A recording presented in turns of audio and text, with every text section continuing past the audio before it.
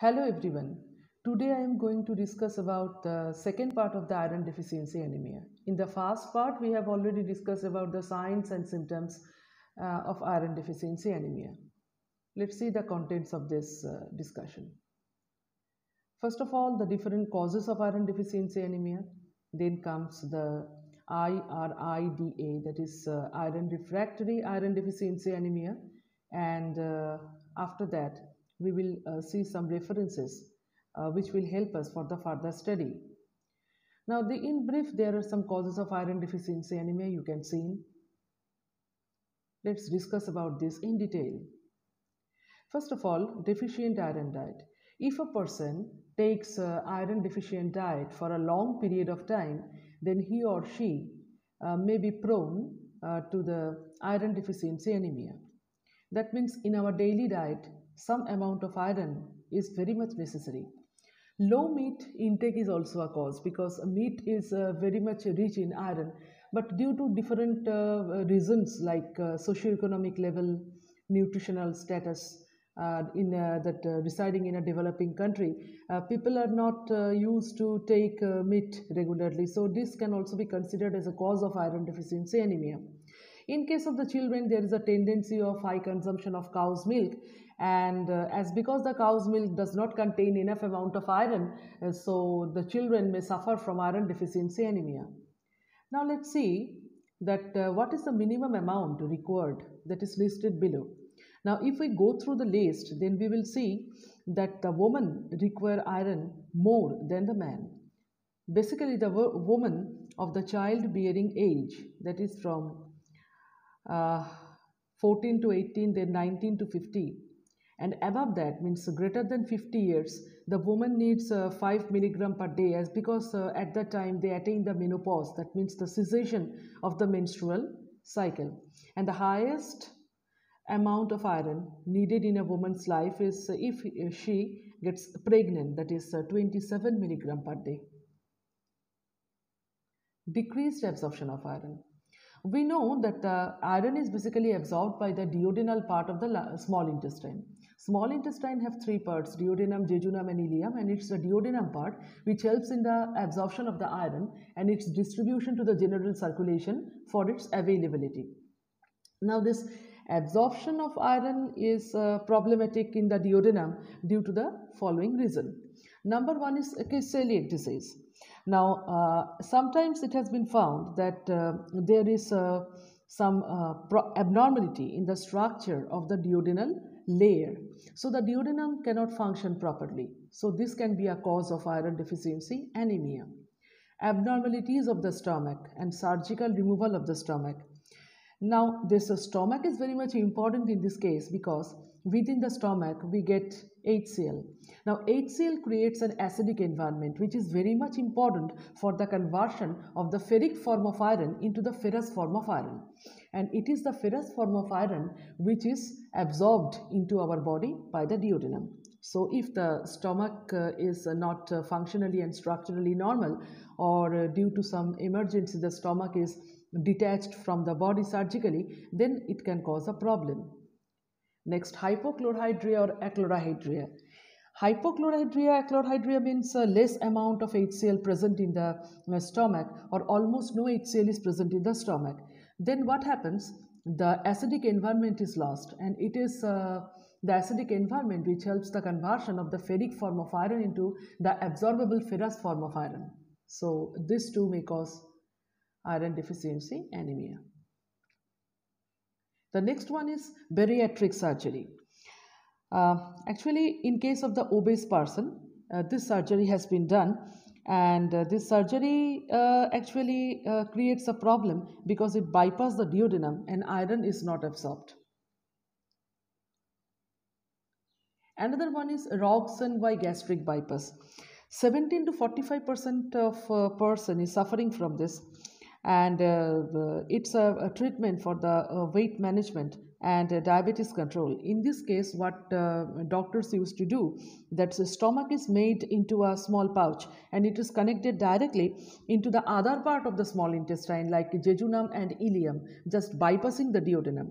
So in this case of the bariatric surgery and also into, in the case of the Roux bypass, it has been found that uh, it is bypassing the duodenum, the uh, way, the route is bypassing the duodenum. So the duodenum uh, cannot absorb uh, iron. So there is uh, every chance of happening iron deficiency anemia.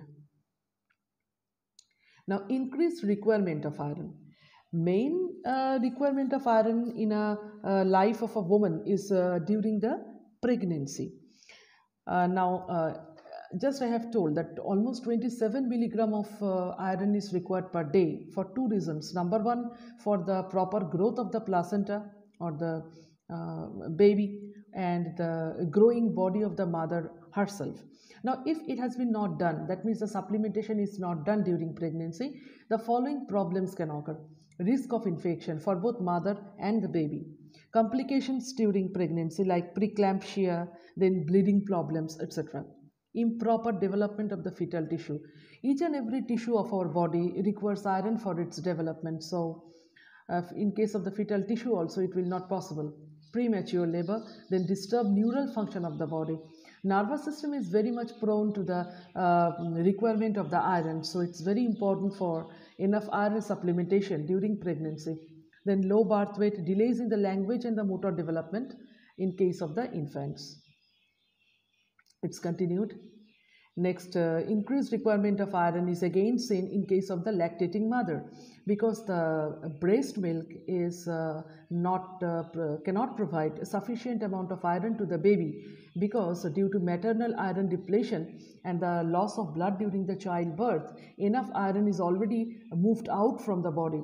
So the lactating mother should be supplemented with enough iron to provide the baby enough iron during its growth period.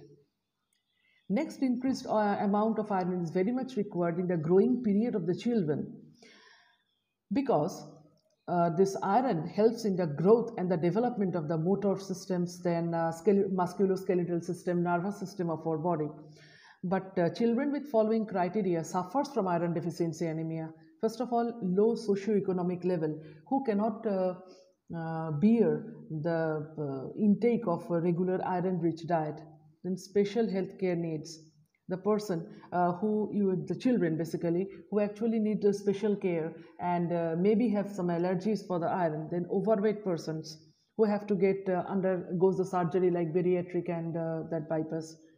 Then breastfeeders who have not received iron supplementation of the age of 6 months. So increased requirement of iron. In three basic cases we have seen number one is pregnancy then lactation then children now, chronic blood loss. It another cause of iron deficiency anemia. Now, there are different uh, reasons uh, for the uh, chronic blood loss, like uh, peptic ulcer. Now, if untreated, this peptic ulcer can cause internal bleeding. And uh, if there is a slow and chronic internal bleeding, then what happens? Blood gradually lost from the body along with the iron. Next comes angiodysplasia. Now, it is the abnormality in the blood vessels of the gastrointestinal tract due to the enlargement of the blood vessels. It forms the lesion in the colon and the stomach and there is continuous oozing of uh, blood uh, from the colon and the stomach. Next comes inflammatory bowel disease. Now, this inflammatory bowel disease can again be uh, covered under uh, two um, basic uh, that is ulcerative colitis. It is uh, the inflammation in the lining of the large uh, intestine and the colon which causes the bleeding. And the next one is Crohn's disease. It actually affects the deeper layers of the GI tract and causes the bleeding. Next comes colon polyp. Actually it's a clump of small cells which is uh, present in the lining of the colon. And if it continues for a long period of time it may bleed and can cause the loss of blood. Next comes menstrual bleeding in case of the childbearing, uh, the in case of the woman of childbearing age, a woman uh, face uh, menorrhea and means the heavy flow and have a higher risk of the iron deficiency anemia. Next, blood donation. Uh, when a person uh, donates whole blood, almost 200 milligram of iron is lost per blood donation. So enough supplementation of iron is very much required after blood donation. And uh, when the person uh, donates so only plasma or uh, WBC or platelets, then uh, this means iron deficiency anemia does not happen in that much proneness. Now hemoglobinuria. Hemoglobin uh, urea means uh, when the urine is uh, containing with iron but without any RBC. Sometimes when the urine sample is taken and it has been found that uh, it colors bleedy, means uh, blood like mm, brick red, but uh, there is no presence of RBC and then it is somehow confirmed that the person is suffering from hemoglobinuria means iron is lost through the urine. So naturally iron deficiency anemia will occur. The next one is iron sequestration. That is very important. Now what is sequestration? Sequestration means chelation. It can be defined as the ability to form complex bond with metal ions that allow the metal ion to remain in the solution. That means uh, metal ion cannot be used but it will remain in the solution. It has been found that hepcidin, it is a very important regulatory small peptide uh, hormone which actually controls the iron. If due to some reason hepcidin is excess in the body, uh, it will cause endocytosis and proteolysis of the cellular iron exporter that is ferroportin and this is the only iron exporter we have in our body. And if this iron exporter is trapped and closed then what will happen? Iron is not available. Iron will not be available in the general circulation. Iron will also be trapped in the macrophages and enterocytes which will give rise to two uh, different problems that is hypoferremia and iron restricted erythropoiesis now, iron restricted erythropoiesis means uh, erythropoiesis is going on, but uh, that is restricted of iron, means less amount of iron is there present during the erythropoiesis. So this is iron sequestration. This is also considered to be another cause of iron deficiency anemia. Now iron refractory iron deficiency anemia. It's another important thing because it's the genetic uh, problem or the genetic cause of iron deficiency anemia. The gene that is responsible for this, it's written here TMPRSS6 gene. What happens if there is a genetic mutation or genetic disorder in the body of the children, then what happens? Excess hepcidin is produced. And this excess hepcidin, what uh, uh, actually causes the trapping of the iron into the macrophages, just we have discussed about that, and uh, there is less availability of the iron in the bloodstream. And the children who are uh, suffering from this uh, rare genetic disease, IRIDA, they uh, say uh, actually very less amount of uh, energy is within them. They get fatigued very uh, easily. they have the pale skin and not enough oxygen is present in their body as because very less amount of hemoglobin is present. So there are some references for the further study. Thank you very much for patient listening. So we have discussed about uh, the different causes of iron deficiency anemia and it will be continued to part 3 where we will discuss about the treatment of iron deficiency anemia. So thank you very much. Bye-bye.